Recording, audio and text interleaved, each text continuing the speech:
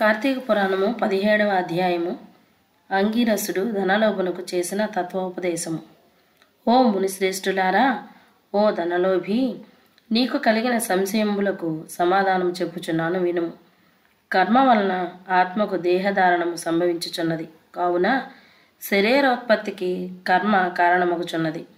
శరీరధారణము వలననే ఆత్మకర్మను చేయును. కనుక కర్మ చేయుటకు శరీరమే కారణమగుచున్నది. స్థూల సూక్ష్మ శరీర సంబంధముల వలన ఆత్మకు కర్మ సంబంధము కలుగునని తొలుత పరమేశ్వరుడు పార్వతీదేవికి వివరించెను. దానిని నీకు నేను వివరించుచున్నాను. ఆత్మ అనగా ఈ శరీరమును అహంకారముగా ఆవరించి వ్యవహరించుచున్నది అని అంగిరసుడు చెప్పగా ఓ మునీంద్ర నేనింతవరకు ఈ దేహమే ఆత్మ అని భావించుచుంటిని.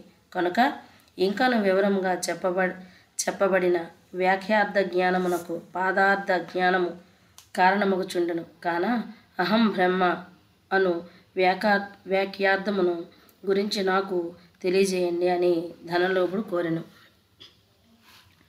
అప్పుడు ధనలోభునితో అంగీర్ అంగీరసుడిట్లనియే ఈ దేహము అంతఃకరణ వృత్తికి సాక్షియే. నేను నాది అని చెప్పబడు జీవాత్మయే అహం అను శబ్దము. సర్వాంతర్యామియే సచిదానంద రూపమైన పరమాత్మను నహ అను శబ్దము. ఆత్మకు ఘటాదుల వలె శరీరమునకు లేదు.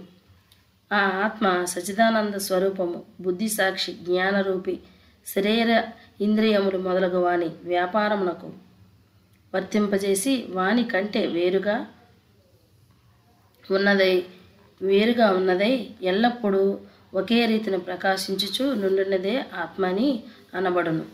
నేను అనునది శరీర ఇంద్రియాదులలో ఒకటి కాదని తెలుసుకొను. ఆ దేహేంద్రియాదుల అన్నింటినీ ఏది ప్రకాశింపజేయనో అది ఏ నేను అని నిశ్చయము. అందుచేత అస్థిరములకు శరీర ఇంద్రియాదులకును కూడా నామరూపంబుతో నుండి నశించునవియేగాక ఇట్టి దేహమునకు జ జాగ్రత్త స్వప్న సుషుప్త వ్యవస్థలు స్థూల సూక్ష్మాకార శరీరంబులను మూడింటిని ఎందును నేను నాది అని వ్యవహరింపజేసేదే ఆత్మ అని గ్రహించుకొనము. ఇనుము సూదంటు రాయిని అంటి పెట్టుకొని తిరుగునట్లే శరీర ఇంద్రియాలు దేనిని ఆశ్రయించి తిరుగుచుండనో అదే ఆత్మ. అట్లే అవి ఆత్మ వలన తమ పనిని చేయును. నిద్రలో శరీర ఇంద్రియములు సంబంధము లేక గాఢ నిద్రపోయి మేల్కొన్న తర్వాత నేను సుఖ నిద్రపోతిని సుఖంగా ఉంది అనుకున్నదే ఆత్మ. దీపము గాజు బుడ్డీలో ఉండి ఆ గాజును ప్రకాశింపచే చేయునట్లే ఆత్మ కూడా దేహేంద్రియాదులను ప్రకాశింపచేయుచున్నది ఆత్మ పరమాత్మ స్వరూపమగుట వలన దానికి దారాపుత్రాదులు ఇష్టమగుచున్నారు. అట్టి విశేష ప్రేమాస్పదమగు వస్తువేదో అది ఏ పరమాత్మ అని గ్రహింపుము.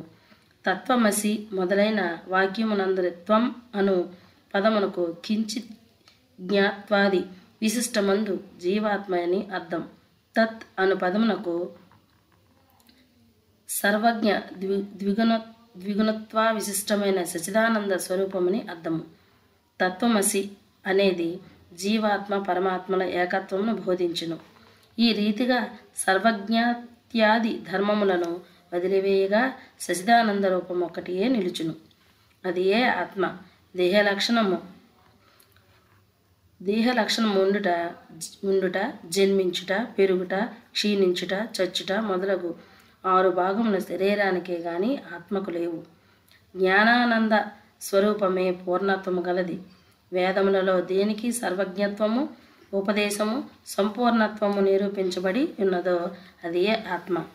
ఒక కుండను చూచి అది మట్టితో చేసినదేనని ఏ విధముగా గ్రహింతుమో అటులనే ఒక దేహాంతర్యామియగు జీవాత్మ పరమాత్మ అని తెలుసుకొను జీవులచే కర్మఫలం అనుభవించేవాడు పరమేశ్వరుడనియు జీవుల కర్మఫలమును అనుభవించరని తెలుసుకొనము.